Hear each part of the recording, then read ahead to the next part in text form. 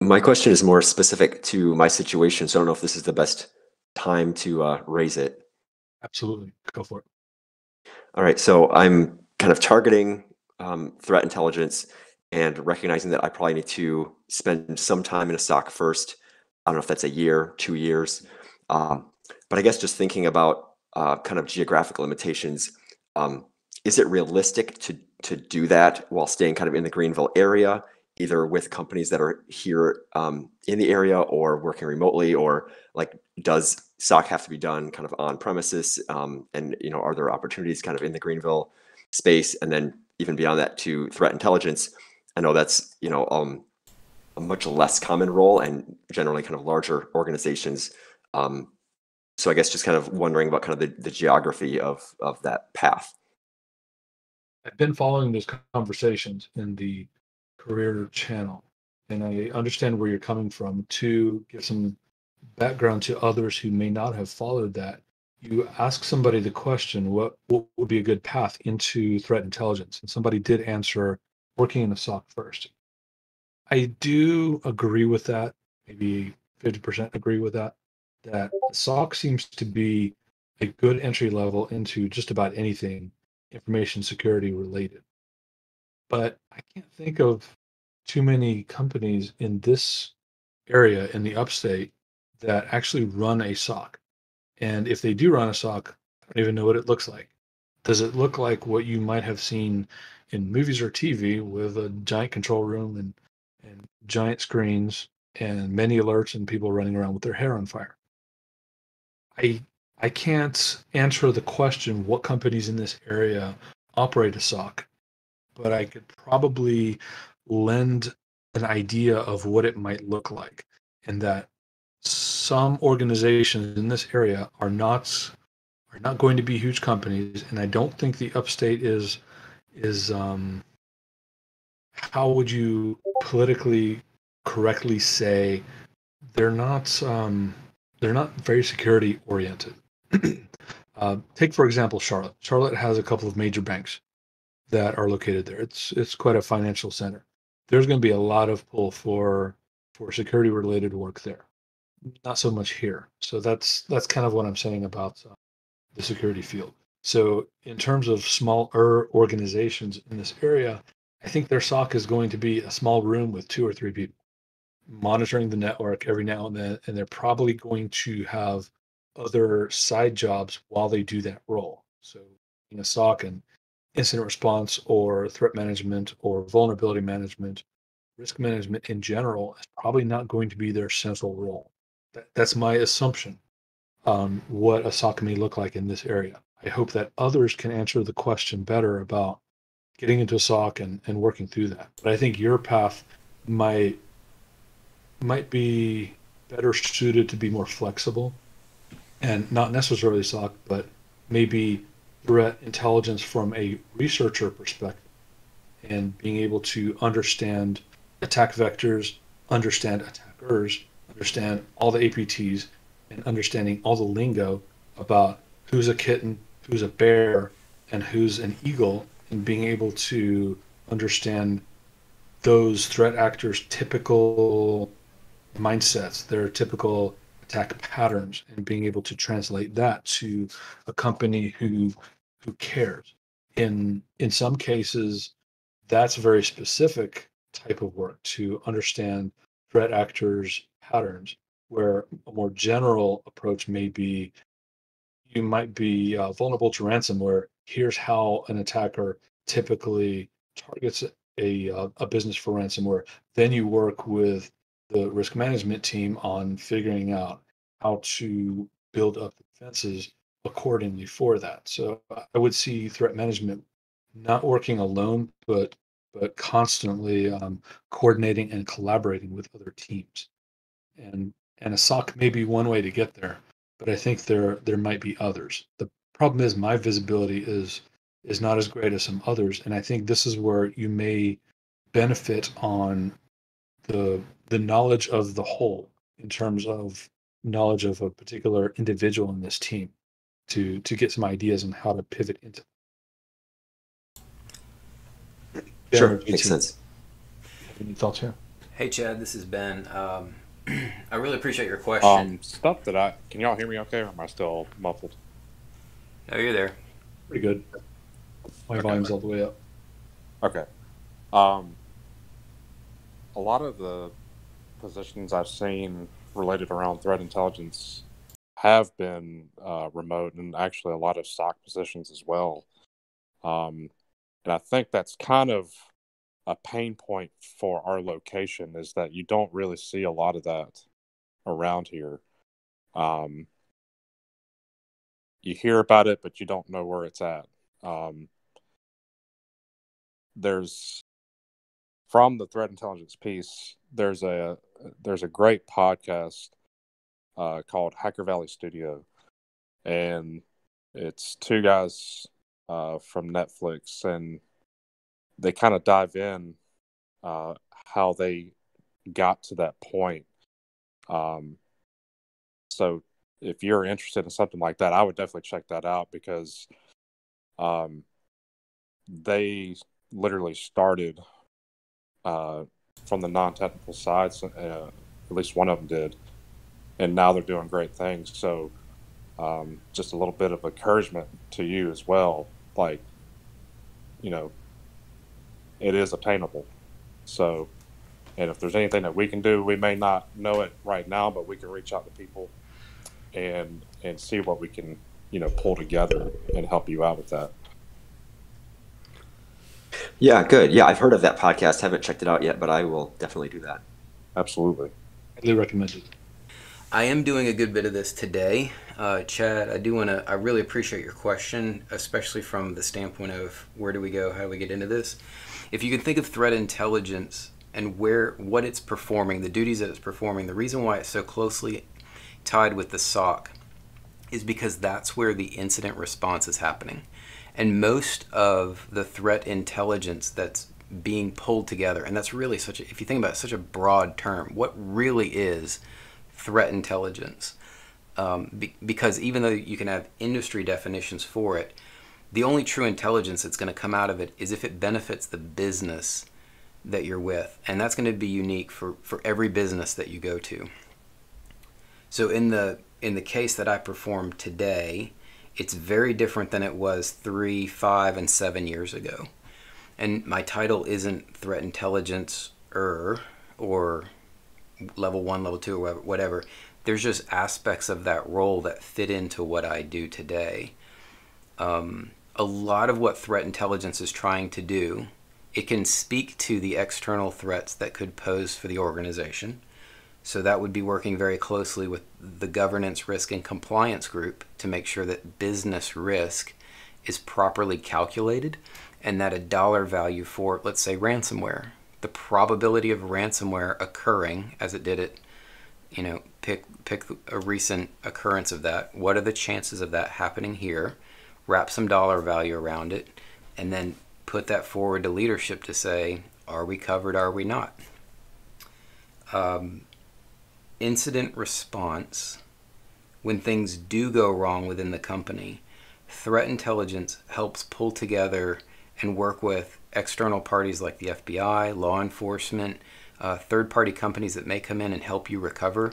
And they'll include additional pieces of information that your internal logs will not have.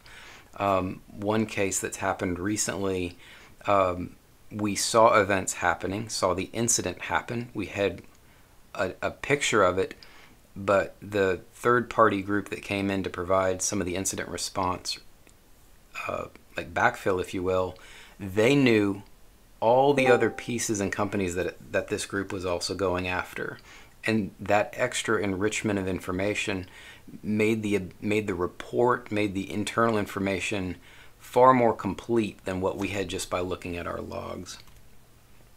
This is this is a big topic, Chad. So I mean, if you're really wanting to go down this the the threat intelligence route, I, I think it can be very rewarding, especially if you're a very analytical person. Um, there's some amazing resources out there for it, but but as far as roles go, um, I think I did mention this in Discord. It is really it, is a very young new career. Um, forget Greenville. Um, I, I think an and this is just my two cents, pretty much every job we're going to be searching for, if we're only looking in the Greenville area, Greenville companies, or in the upstate, uh, yes, we, we, we will find some, but almost every SOC, uh, from an MSP to the big time players, they're hiring remote. They, and, and honestly, the reason why for that, for a lot of these, especially at low level SOC positions, is quite frankly, the dollar value to hire people out of different countries is much lower than it is here. So depending upon where you're looking and what you're wanting to do, it's more beneficial to, to throw a water, wider net. Yeah, that's good to know. Yeah, I want to have realistic expectations. Curious if we as a group have the bandwidth to to take a request like this from any individual, and I don't want to single Chad out, just as a as a thought process or thought experiment is to say this individual is interested into getting in this field and doing this type of work. Where will we begin, and could we structure the process in a way that step one, begin here, step two, step 10, step 20, and so on. I, yeah, and I, I, I think these kind of calls that we have, especially on the third Thursday around careers, could really be beneficial. That where we just take, I mean, because all of us, there's going to be a lot of questions that come up about how do we format resumes? How do I write this on my on my resume? If you're solely focused in going after threat intelligence, then I would say go all in and make sure that your resume, your LinkedIn profile are reflecting that as much as possible. And, and truth be told, I mean, this is something we really haven't publicized yet either, but as you're learning stuff, if you want to do an opinion piece on um, the DC864 blog, write it up and send it to us, and we'll get it on there. Okay. Don't know if you know it. There's a um, guard group too that does uh, cyber stuff. So it's volunteer, but you get a lot of experience. I think it's like once a month you have drill in Columbia, I think, but it might be something to look at. But anyway, that might be another avenue. Any thoughts about my part of the presentation and the way that was delivered or anything that I may have glossed over too quickly or should offer some more detail on? Yeah, I found it helpful as someone who's uh, coming from outside of InfoSec, kind of from the just broader IT and moving in and just, uh, yeah, kind of the practical advice related to interviewing and then um, especially the the part about um, you know, just being prepared to kind of adjust your career path, you know, uh, dropping in, um, uh, you know, job title or, um, you know, kind of taking what might look like steps backward in order to um, make progress towards towards the path that you want.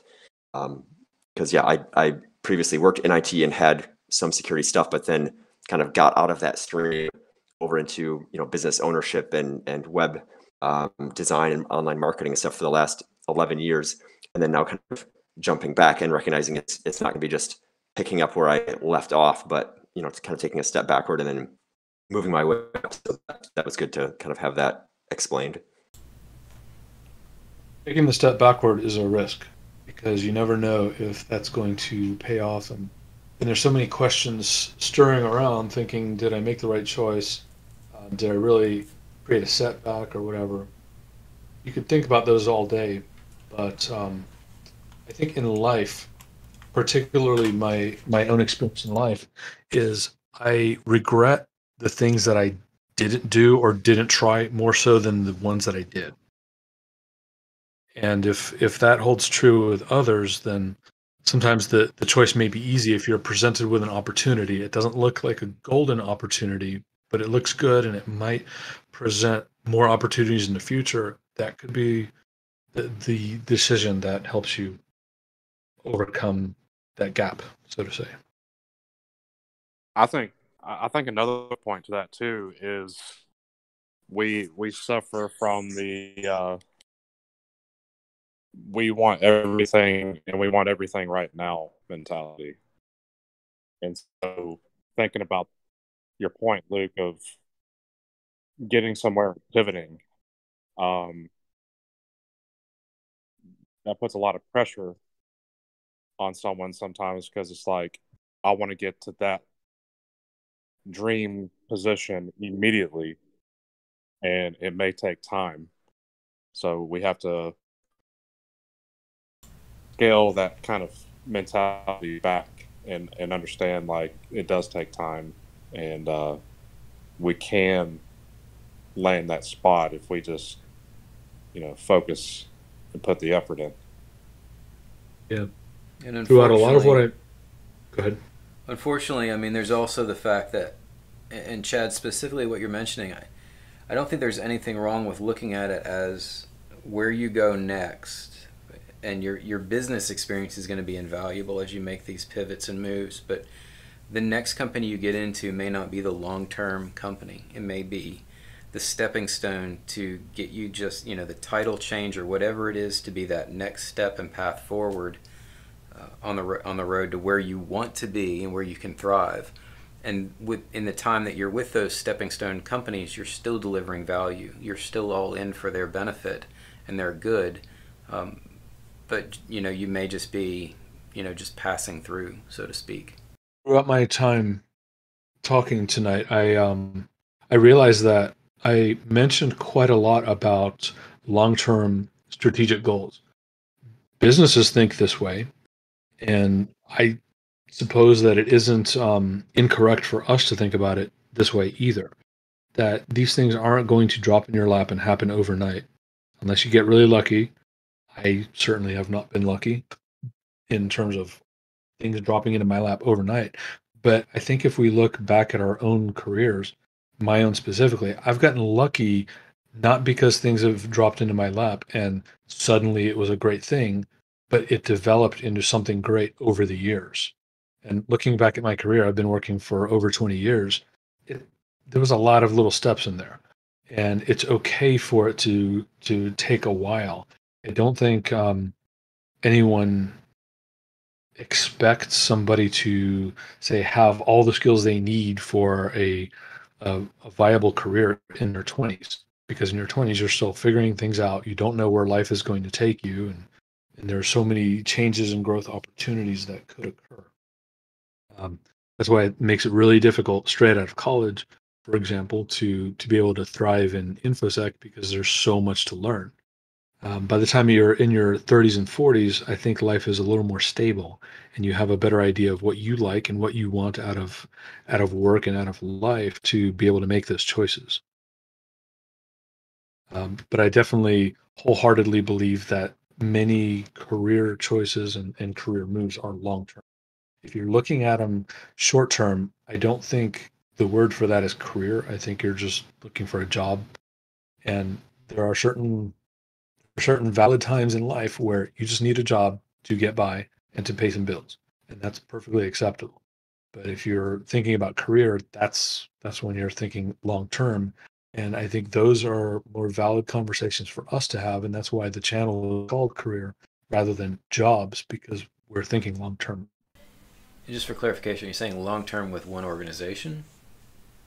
long term career in general. Be that in one organization or whatever like so many so many of the threads that i brought up saying when when you hack your career look at job postings and then think of where you can position yourself in six months or a year not where you can mold your your resume today to be able to apply for those jobs tomorrow Yeah, gotcha, gotcha. Uh, Thank you. I, i'm thinking longer term and, and be it in one organization like like my specific example i've been with verizon for 20 years and i can say that because verizon's a huge company and there's so much work to do and so many different areas that of the the business to to be able to contribute. And um, being someone who is a lifer in terms of of one organization is not good and it's not bad. It's okay if if that's comfortable for them. And i don't think it's too short-sighted to say that it's one culture because there's so many different people and so many different cultures.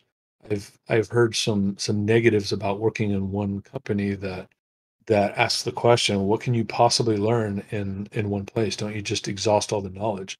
Well, it depends on where you are and where you go and where you take your skills. That one company, like in my specific example, there's there's just so much. It's not one culture. It's it's an overall culture with so many different groups doing their own thing that um, that you can still pick up a lot. that's more of a side rant on the pros and cons of one large company versus a smaller company.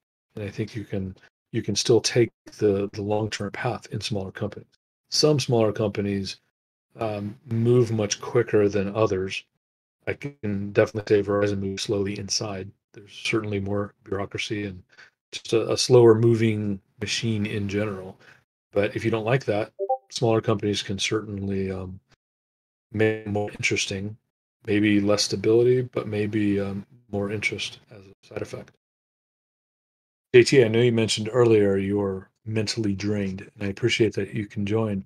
That's a perfect Yeah. example of how I was also mentally drained, but it turns out that I'm more energized now because I I was able to shift gears and I stopped making it rain hashes in the um, in the job that I'm doing and switch gears and talk about this Yeah. instead of um, grinding through the other work that I had going on. Yes. Uh, Yeah. It's kind of refreshing for me, even though I came into this talk about two hours ago dreading it. I, I thought this was going to be a giant train wreck because I was not mentally in the state where I really wanted to talk about this. But I'm glad I, for one, pushed forward. I'm glad to see you here as well. Absolutely. Thank you. It was. Uh, I agree. It's definitely a refresher. And it's always good to talk to our group. It is. I think we have a good energy. I believe we do. No bias, right? I didn't get an opportunity to jump on the DC 706 talk, but um, Ryan was giving that talk about his life in a SOC, and that might come full circle to Chad's question and dilemma whether to enter into um, into the field through a SOC. Maybe Ryan's talk might have some some insight into that. They said it was being recorded, and they're going to reach out to me when that recording is ready and posted.